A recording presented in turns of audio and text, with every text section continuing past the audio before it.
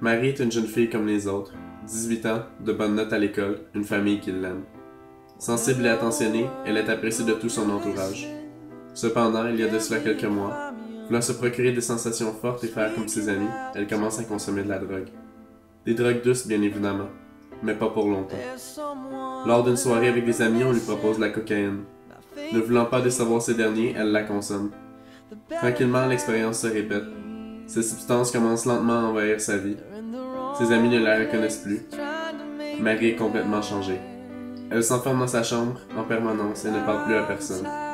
Elle se sent seule, prisonnière de cet enfer qu'est la drogue. Seule dans son monde, Marie commence à songer qu'elle ne sert plus à rien, que personne ne tient à elle. Vendredi dernier, alors qu'elle revenait de l'école, elle monte tout de suite à sa chambre. En naviguant sur Internet, un ami lui envoie un site web par courriel, lui disant qu'elle devrait y jeter un coup d'œil. Il s'agit du site web de tel jeune.